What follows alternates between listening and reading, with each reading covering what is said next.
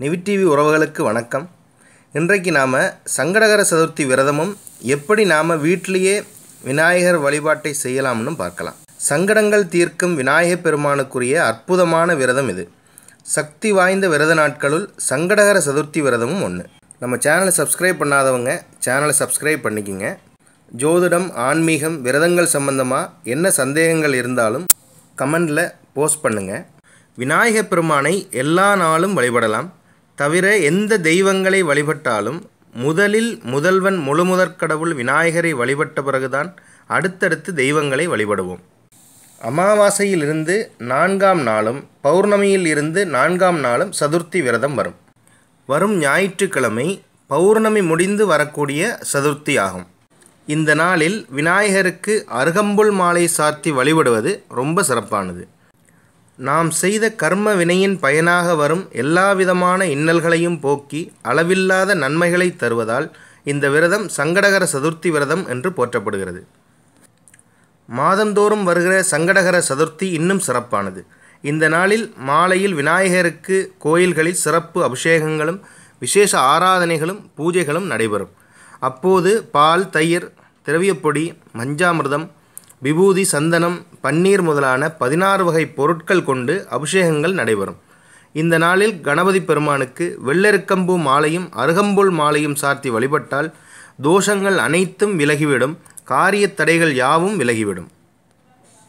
சதுர்த்தி விரதமன்று காலையில் வீட்டில் பூஜை அறையை சுத்தம் செய்து கொள்ளுங்கள்.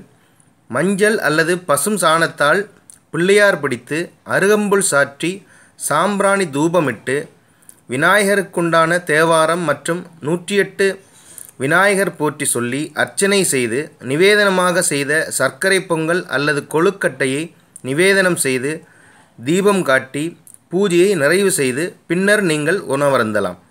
இதை மனதார விநாயகரை வழிபட்டு செய்தால் வீட்டில் மங்கள காரியங்கள் நடந்தேறும் செல்வச் செழிப்பு உண்டாகும் வியாபார தடைகள் நீங்கும் எண்ணிய காரியங்களெல்லாம் விரைவில் நடந்தேறும்.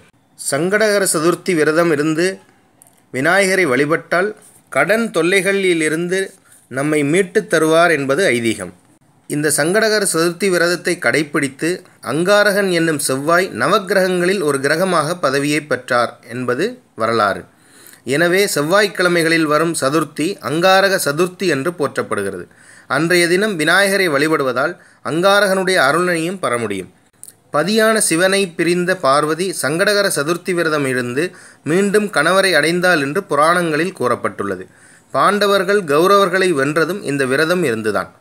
பன்னிரண்டு சங்கடகர சதுர்த்தி விரதம் இருந்த பலன் மகா சங்கடகர சதுர்த்தி இருந்தால் கிடைக்கும்.